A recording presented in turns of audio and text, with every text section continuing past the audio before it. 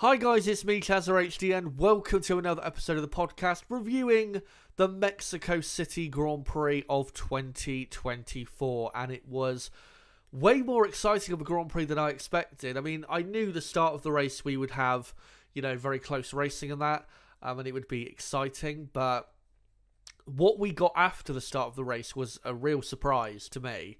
It was um, a pretty good race considering what we usually get at that circuit. Um, lots of controversy, which we will get into. Don't worry about that.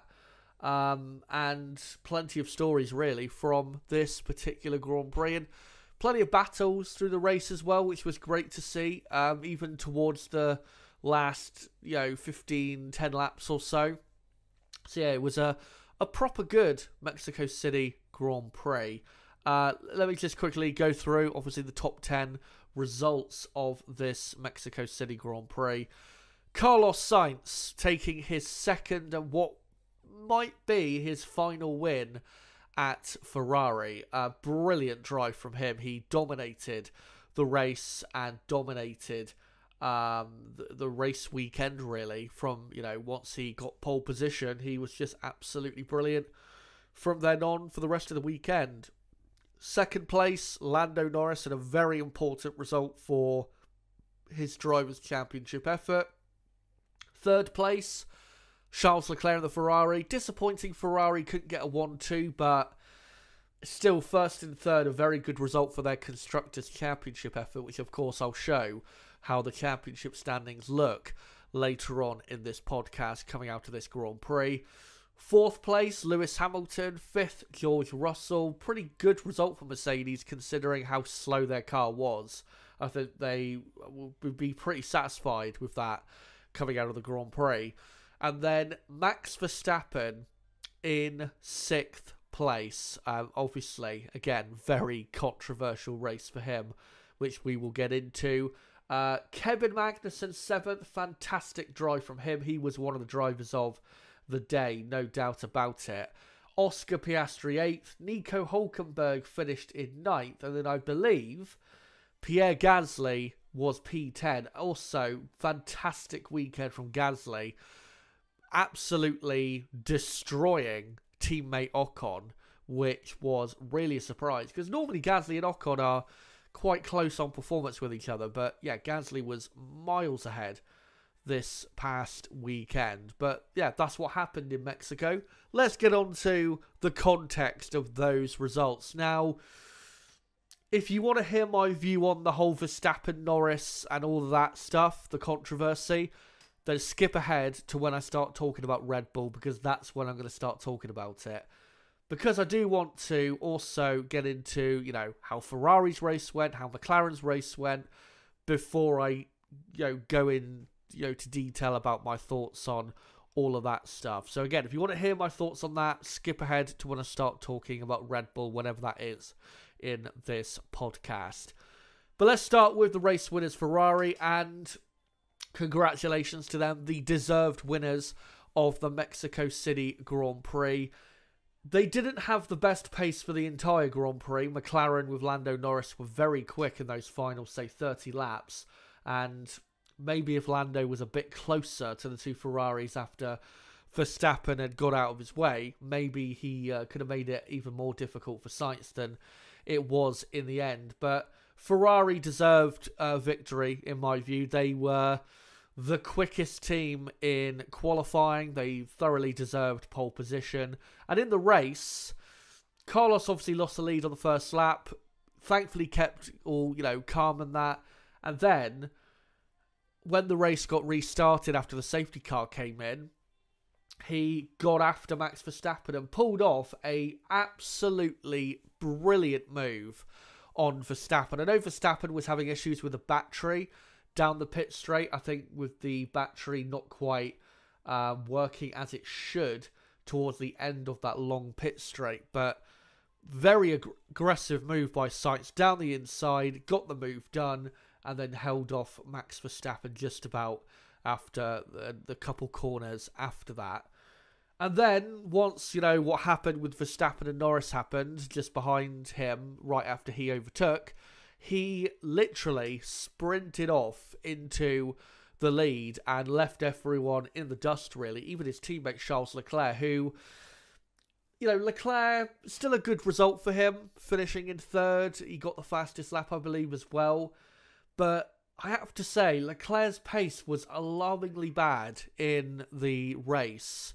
He was miles off the pace of his teammate. Now, there have been race weekends we've seen where Carlos Sainz has been quicker, but for Carlos to be that much quicker than Leclerc, again, a bit of a bit of a an alarm there for Leclerc, I would say, given how good Leclerc has been form wise in the last few races.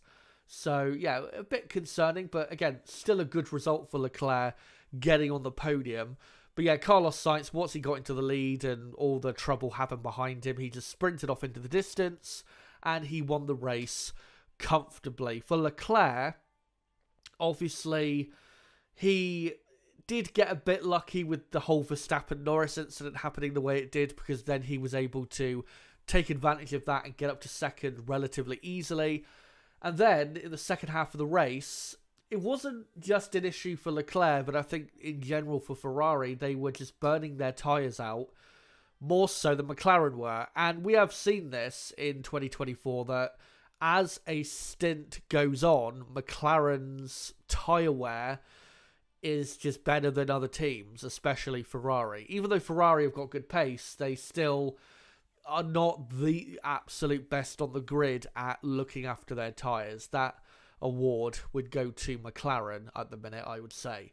So that's really why Norris caught and passed Leclerc. Obviously, Leclerc made that mistake, sadly, coming out of the final corner. I think Lando would have passed Leclerc anyway, though, even if Leclerc had not made that mistake. So I'm not going to go, you know, I'm not going to criticise Leclerc too much for that error.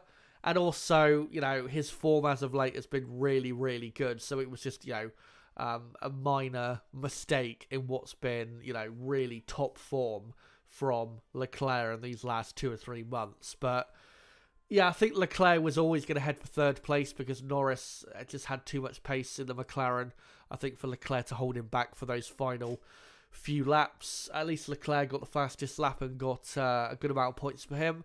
Carlos Sainz again, fantastic win and brilliant amount of points for the Ferrari team. They come away with 41 points, I think it is, from the Mexico City Grand Prix. They go up to second in the Constructors' Championship and are not too far behind McLaren. And with the races coming up between now and the end of the season, there's no reason why Ferrari can't win the championship, the Constructors' Championship, of course.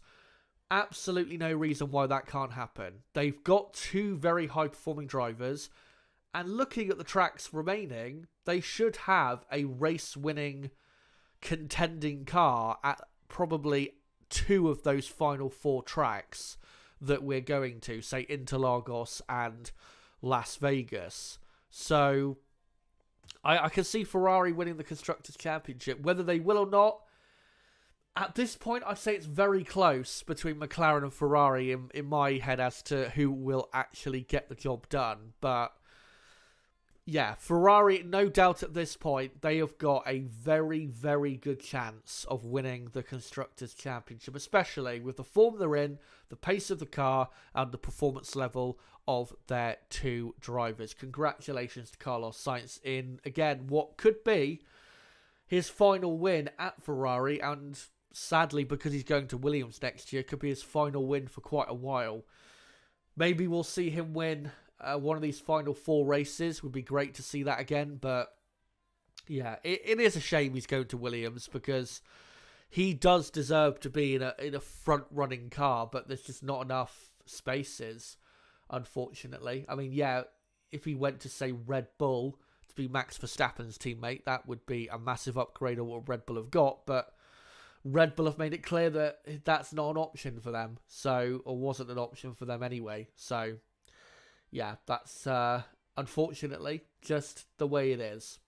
But congratulations nonetheless to Ferrari. Let's now go on to McLaren, who, with Lando Norris, we'll start with him. Um, I think Lando, despite what happened with Max, I think we have to give full praise to Lando for the race he had. I think it was one of the few races he has had in the last three or four months where he performed at his absolute best and delivered the best result he possibly could have. At the start of the race, had a decent start, got right in the slipstream of Verstappen, but he just chose the wrong side to attack. I think he really should have tried to go around the outside, but I mean, it was very tight for space on the outside there, so I don't think you can really blame him that much for for that. But you know, he settled into what was it, third place. Then the restart happens. Carlos Sainz gets past Max Verstappen, and then because Max was put out of shape for um on the exit of turn three, Lando then had a good run on Max up to turn four. Went for the move round the outside. Lando went off the track and then came back on ahead, and then Max decided to do what he did. Again, I will give my thoughts on that when we get to Red Bull. And then, thankfully, Lando, uh, Lando sorry, kept his head in that uh, or in those moments because he could have easily tried to you know go for a really super aggressive move on Verstappen right after Max did what he did, and you know at that point could have ended up in a, in a race-ending crash. So it's good that Lando, you know, calmed himself down and just settled in behind Max, and then eventually Lando was looking like he was about to pass Max Verstappen. Then Max was brought in and obviously served his 20 second penalty. And then after that, obviously, Max was no longer a threat to Norris and McLaren. And then their job was to try and put Ferrari under pressure. And again, because McLaren are so good at looking after their tyres, as that final stint of the race wore on, McLaren just got better and better. And that's why they were able to catch and pass eventually Charles Leclerc. And you know, we, we say it all the time, don't we, in Formula One? If there had only been a few more laps, maybe something else would have happened in terms of who won the race. But if there had been another few laps, maybe Lando Norris could have fought for the race win. But it was a 71 lap race, and you know that is, um, you know, th- that is the way it is at the end of the day. But in terms of what Lando did in the race, I can only commend him. I thought he did the absolute best job he possibly could have done in that Grand Prix. You have to remember that after Max had pitted and uh, you know Lando was then released, Lando was quite far behind the two Ferraris. He was like 13 seconds off the lead, and he was like, what was it, six or seven seconds behind Leclerc. So he had a lot of work to do to finish in second, and he did it. And given that Ferrari were so quick, and so dominant looking in the first half of the race, it looked nearly impossible that Lando could actually split the two Ferraris at the end. So, yeah, fantastic drive from Norris. Takes 10 points out of Max Verstappen's lead. The gap is now down to 47 points. I still don't think Norris is going to win the championship because I mean, the reason Max finished in sixth place, as we'll get onto in a moment, is really because of the penalties. If it wasn't for the penalties, Max would have finished in fourth place. I'm, I'm pretty sure of that. Because Mercedes, you know, were so far behind. Even though Mercedes were actually quicker than Max in the second half of the race, Max, you know, before the whole uh, pit stop phase, Max was already quite far ahead of the Mercedes cars. So I think Max would have finished in fourth without those penalties. I think, yeah, you know, obviously Max is not going to have that happen to him for every race between now and the end of the season. So, uh, you know, as it as as has been said, Lando I think has to gain like eleven points per race between now and the end of the season to have a chance at winning the championship. That's not going to happen. I think every Grand Prix weekend remaining, unfortunately for Lando, he's uh, left it too late, I'm afraid, to try and win the championship. Even though we've still got what a couple sprint races and four Grand Prix, he's going to need quite a bit of luck, I think, at this stage to win the championship. Uh, Max should still win it, but credit to Lando. You know, if, if you look at the last oh, I mean, the US Grand Prix, you know, he could have done better there, but I'd say three of the last four races, if you just look at the race day, I think he's done pretty well in, again, three of the last four races. Baku obviously started low down on the grid, came back to finish in fourth place, got a really amazing result considering the circumstances of, um, you know, that weekend. Singapore obviously dominated and won. US Grand Prix definitely could have done better, but here in Mexico, again, did the best job he possibly could. So his form in the races, it's improved. It's still not as good as it should be, but it's improving at least. But again, too little too late, I think, in terms of winning the championship. I still think Max Verstappen will get the job done. Uh, probably in a couple races' time. Uh, for Oscar Piastri, sadly, Oscar just didn't have enough pace to come back through and I think do what McLaren were hoping he could have done and challenged Max Verstappen for sixth place. But I do think Oscar was left out a bit too long for the first stint. Because when he was fighting, if you guys remember, he was fighting Lawson and then the two Mercedes came up and passed him. His tyres were pretty dead. So I think McLaren could have definitely had pitted him a few laps before, and then maybe had a go. Um, you know, maybe at Kevin Magnussen. You know, if he had actually not wasted those laps on pretty dead tyres. But yeah, overall didn't have that great a pace towards the end of the race and ended up finishing where he did, seventh place. Um, in terms of the Constructors' Championship, 24 points is still good for McLaren, but obviously with Ferrari scoring as many as they did, it's uh, you know it's going to be close. Let's say the fight for the constructors' championship. A shame for Piastri, by the way, that he uh, you know had such a poor qualifying because he could have easily, I think, been on the podium himself, uh, especially with the tyre issues that Leclerc was having towards the end of the race. So a missed podium opportunity there for Piastri. But um, going forward into this weekend's race, McLaren were pretty quick last year. I remember with Lando Norris, even with last year's car compared to the dominant Red Bull. So we could see McLaren very quick this weekend. I think it's going to be pretty close between McLaren and Ferrari. Probably more so. Uh, I think it'll probably be in terms of who's going to be quicker probably leaning in Ferrari's favour just because they've got such a fast car in a straight line, which obviously does help at the Interlagos track.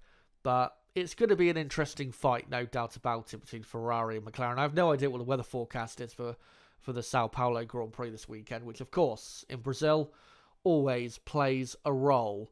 Uh, but yeah, McLaren still leading the Constructors' Championship, still in good shape there.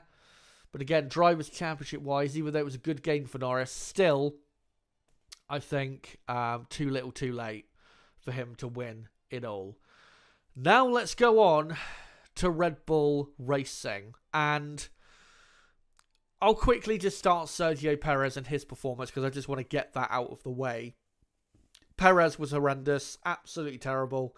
Um, getting a penalty, of course, at the start for starting out with grid box, which he said he didn't, but it was clear on the TV broadcast. You can see he started ahead of his, uh, you know, where, where he should have started in his little grid box. And then um, had a couple incidents with Lawson and Stroll, picked up some damage, and ended up, I think, getting lapped by his teammate, even though Max had 20 seconds worth of penalties. So, yeah, Sergio Perez he's done, really, isn't he? In Formula One, the, the the only thing keeping him going is literally Red Bull Racing keeping him in that car. Because I think if they decide to get rid of him, he I don't think will be sticking around. I think he'll probably be just riding off into the sunset, which is probably a smart thing to do, given that he's not going to accomplish anything more in his career. But yeah, just a very sad performance by Sergio Perez. But now let's go on to Max Verstappen, who, the start of the race, made a fantastic start, as good of a start as it was last year in Mexico. Got into the lead, fantastic move on the inside, to get past Sainz. Sainz did go off the track at the start, but from what I remember, I don't think Sainz had his car alongside Max and was always, uh, know, that gap was always going to close. So I don't think, you know, there, there, there was anything there that should have been penalised. I think it was absolutely fine. Carlos then, uh, thankfully, let Max back through. And then Carlos Sainz passed Verstappen on the restart. To be honest, even if Sainz um, or sorry, not even uh, not Sainz. Even if Max did not have those issues with his battery, Ferrari were going to pass him eventually. They were way quicker than Red Bull in that race. Uh, Max finished. What was it? He finished. Um, how far behind? It was like forty plus seconds behind Sainz. I think it was, or way even further behind than that. Um, and you know, even if you take the penalties away, Max still would have been comfortably behind in the end. Uh, Red Bull just had no real pace, especially in the second half of the Grand Prix. But yeah, Sainz gets past him. Brilliant move by Sainz. And then, because Carlos had a very dodgy turn two and trying not to violate track limits, Max got held up a bit and then got put kind of out of position on the exit of turn three which gave Lando a run on him up to turn four. And then Lando did exactly what he should have done and went for the outside move because going around the outside at turn four is a very, you know, doable move. Uh, there's a lot of grip on the outside there, and you can definitely make it work in terms of having then the inside line for the following corner of turn five. That's what Lando was going for initially got ahead. Max then did basically what he did in COTA and he braked later. And then at the apex, they were side by side. But then when Lando got to the edge of the track, there was then contact between Max and Lando. Lando went off, didn't give the position back, and then Max at turn eight, was it? Then decided to dive bomb Lando at a part of the track where overtaking is just not possible, and he took himself and Lando off. Now, he got a 10 second penalty for what happened at turn 4 max, and then another 10 second penalty for what happened at turn 8, I believe. For what happened at turn 4, I, in my mind, it's debatable as to whether Max Verstappen was, say, in the wrong to the point where he deserved a penalty whether you, you know, if you, if you don't like that, fair. You know, if you disagree with me on that, fair enough. But for me, it was debatable that because Lando, even though yes, he was alongside Max, Lando was not ahead, clearly ahead of Max to the point where Max should have just let Lando go. And I think Max did have the right to defend his position on the inside. But again, if you want to say Max, you know, deliberately pushed Lando off and he was never going to let Lando go through there and deserve the penalty, then you know that's your view. But in my view, I I don't think that was a penalty. I I, I think that should have been left go. And if you look at later on an incident with another Red Bull driver, Sergio Perez and Lance Stroll, I'll try and get a picture of it on screen, but Perez and Stroll are not exactly alongside each other at the apex, but they are pretty much alongside each other. I wouldn't say anyone is significantly ahead of the other. And Perez pushes Stroll off the track. Now, this did not receive a penalty. The stewards decided no further action for what Sergio Perez did here. So, you know what is the right um you know what was the right decision when it comes to what happened here at turn 4 because if you're if you're saying what Sergio Perez did is fine then what Max Verstappen did in my view then is fine. If you want to be consistent. In my view with the Verstappen incident again I I thought it was you know it was aggressive what Max did but, you know, realistically, was Lando actually going to get the overtake done with how Max dived back up the inside? I'm not sure, which is why I say it's debatable as to whether Max deserves a penalty for what happened there. at turn four because I'm not sure whether Lando actually was going to make the move and realistically was, you know, going to make it stick, given that Max Verstappen braked even later to get himself alongside at the apex, which is, you know, we've heard all these, you know, rules in the last few days about the whole who's ahead at the apex and all that rubbish in the last few days. Another thing, though, with this incident at turn four, that is different, I would say, to what happened at the Circuit of the Americas is that obviously on the exit of turn 12 at the track in Austin, the racing line on the exit of that corner is where Verstappen not uh, exactly put his car, but that's pretty much where the exit of the corner goes. So if you don't have your car ahead at the apex into turn 12, then you're never really to you know, be able to go off and keep your position. Um, and that's why Lando, you know, we saw him get um, a penalty for overtaking Max off the track. But with turn four in Mexico, the racing line does not see you go all the way out to the edge of the track at turn four. So again, it's it's debatable for me whether he deserved a penalty for what happened at turn four. If you guys say, yeah, he deserved a penalty and here's why, I'm not going to argue really against it. Again, it's debatable for me. It's not a clear and obvious slam dunk. What happened at turn eight, though, absolutely was a clear and obvious slam dunk. I am not going to argue that. Max Verstappen 100% deserved a penalty we all know what happened. Lando, you know, stayed ahead of him, and Max, whose head would have been hotter than the surface of the sun, decided to dive bomb Lando and pretty much do what he did to Lewis Hamilton back in Brazil three years ago dive bomb up the inside and take himself off and take Lando off with him.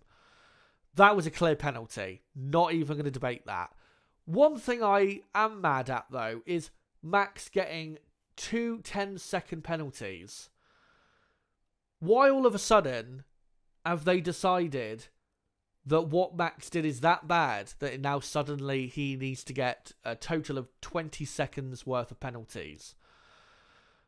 I can tell you why. It's because the stewards and the FIA are trying to send a message that this type of driving from Max Verstappen will not be tolerated that's what's happening there.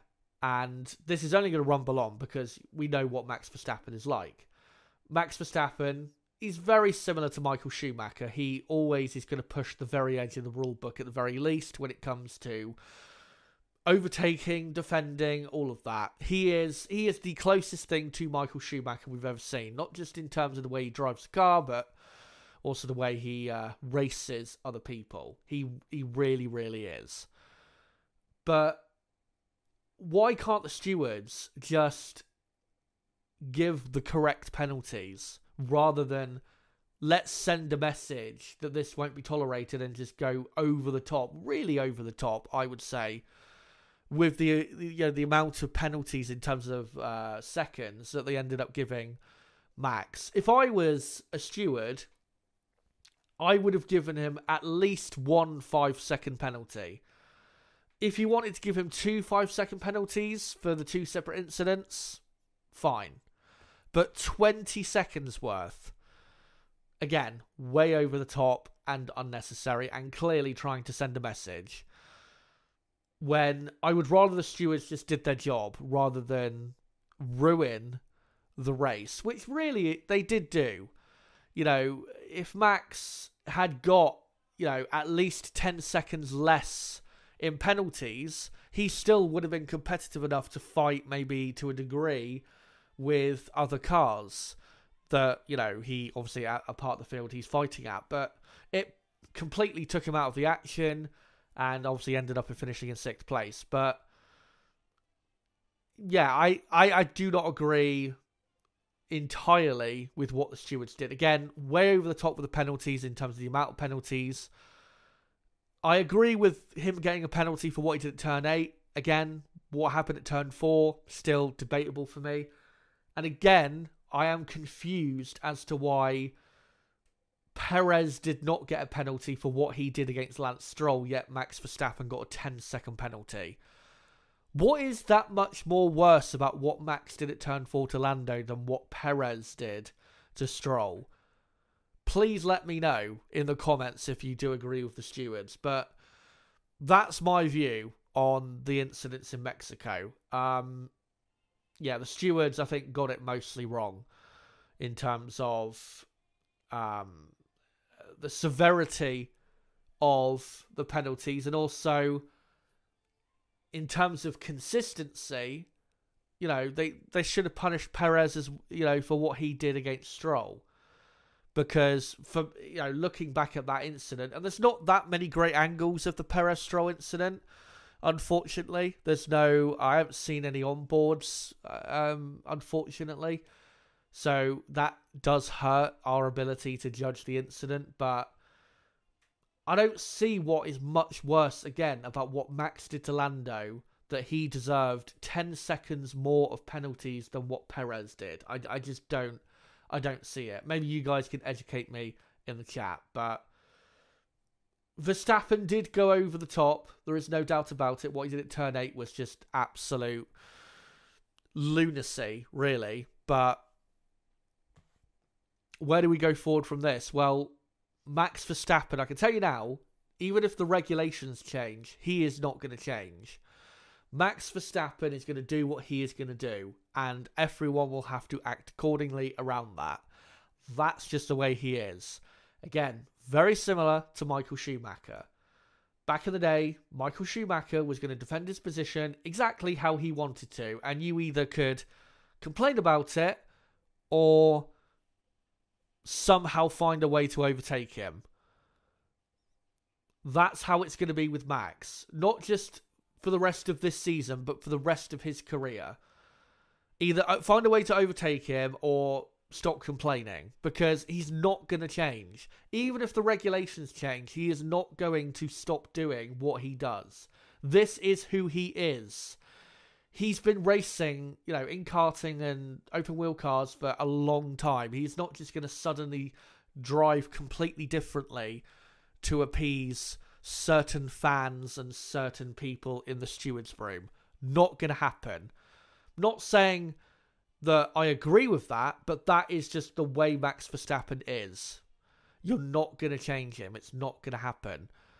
We've seen this before. You know, I remember what was it back in 2018 when he was crashing all, all the time at the start of that season he defiantly came out at the start of the Canadian Grand Prix weekend and said, "I will not change. I will keep doing what I, uh, you know, keep doing what I do." And that's what's made him so far a three-time and probably going to make him a four-time drivers' world champion. So that's the way it is. And again, you know, if you go back to the Michael Schumacher era, everyone knew back then watching Formula One that, you know, everyone knew the way Michael was going to defend his position. Even the drivers knew. And they knew that they had to be super aggressive in the way they overtook him. And that there was no point really complaining about Michael's driving because Michael and the FIA were never going to really do anything about it and the same it, goes for for here. So I really just hope the whinging from everyone stops and we can just get on with it. Again, you know, with the regulations changing, I don't see it really making a difference to what Max does on the track. Should the regulations in terms of wheel to wheel wheel to wheel racing change? That's up for the drivers to decide. But Max is still going to do Max things, and there's nothing anyone can do about it. But let's go on from uh, Red Bull, uh, because, you know, I've had what I've uh, had to say about all of that, and I don't want this podcast to go on too long. Let's go on to Mercedes Benz. Um, good little fight Hamilton and Russell had during the race, a couple times where Russell passed Hamilton, and then later Hamilton passed Russell was aided to a degree by Russell's flappy front wing, which uh, wasn't great. But to be honest, in terms of the battle, even though it was a good battle between Hamilton and Russell, it didn't really matter at all, did it? because they were going to finish in fourth and fifth and had no one else really to compete with um, at the end of the day. But as I said at the start of this video, Mercedes, I think, will be satisfied with 22 points being scored from that Grand Prix because they had, without a doubt, the fourth fastest car in Mexico and ended up fourth and fifth, which would be more indicative of, say, having the third fastest car. So you have to say a pretty good result for them because, I mean, there were times, especially in the opening stint of the race, where they were fighting the Haas of Magnussen, who was on their tail for quite a bit. So, yeah, really poor pace, you have to say, from Mercedes. They were um, just absolutely miles behind the top three in the end. Um, but, you know, this weekend in Brazil, I expect they will be not as bad as what we saw in Mexico. In Mexico, they were compared to the leaders, they were about half a second per lap off the pace, which is pretty bad considering how short of a lap it is in Mexico. In Sao Paulo, the gap should be um, a bit shorter than that. I don't think they'll have the fastest car, but I think they'll definitely be stronger and more competitive in fighting, say, for a podium position. Not saying they're going to get a podium position, but yeah, they should be stronger in Brazil and definitely uh, the race after that in Las Vegas. So if you're a Mercedes fan, don't worry. Uh, there will be some further opportunities yet to come before the end of the season. But yeah, this was always going to be a bad race for Mercedes, especially with uh, George Russell having to run an older spec of car uh, compared to his teammate, because uh, obviously Russell had another big crash in practice too. Um, but yeah, shout out again Kevin Magnussen, brilliant drive, and also fantastic result for Haas. Uh, 12 points, was it, in the end? Was it 12 points they got? No, it wasn't 12 points, it was 8 points they got from the uh, Mexico City Grand Prix. But that puts them on, I think, 46 points. And they are, I think, 40 points behind Aston Martin in the championship. And all I'll say is I don't think that fight for fifth in the championship between Aston Martin and Haas, I don't think it's necessarily over because Haas are clearly miles quicker than Aston Martin, and Haas should be scoring points at every race remaining. And if they can get a couple big points finishes, you know, 10 points plus scored in a couple races before the end of the season, and remember, of course, a couple sprint races, that might help as well. Haas could finish fifth in the championship. They could, because Aston Martin at the moment, they don't look like they're going to score another point. They have one of the worst cars on the grid. There is no doubt about that, I think, at this point. So, yeah, brilliant result for Haas. And, yeah, keep an eye out for them and uh, their, I guess, uh, I guess, fight now to try and catch Aston Martin in the championship. Um, and then, yeah, again, shout out to Pierre Gasly. Brilliant drive from him finishing in P10. Gasly, I think, has had a pretty good season, but it's gone under the radar given how bad his car has been. But there, yeah, there you go. That is your Mexico City Grand Prix review. Pretty eventful weekend. And it isn't over yet because, of course, we have yet another Grand Prix this weekend in Brazil. And I can uh, announce to you guys now that I will be doing a qualifying watch along and race watch along for this weekend's race in Brazil. On Saturday, I will be going live at 4:30 p.m. UK time for the qualifying watch along. That'll be about an hour after I think the sprint race finishes in Brazil, and obviously we'll uh, build up to qualifying and cover that session. And then on Sunday, I will be doing a race watch along, going live two hours before the race. Uh, going live at, I think, 3 p.m. UK time is when I'll be going live to cover the Sao Paulo Grand Prix. And then, as usual, this time next week, there'll be a podcast reviewing the events of the Sao Paulo Grand Prix. So make sure to come along to all of those pieces of content. But cheers, guys, for uh, coming along for the content for this Mexico City Grand Prix. And until this Saturday, live at 4:30 p.m. UK time, where I'll cover the events of qualifying in Interlagos, Brazil. It has been me, Chazza HD. Goodbye.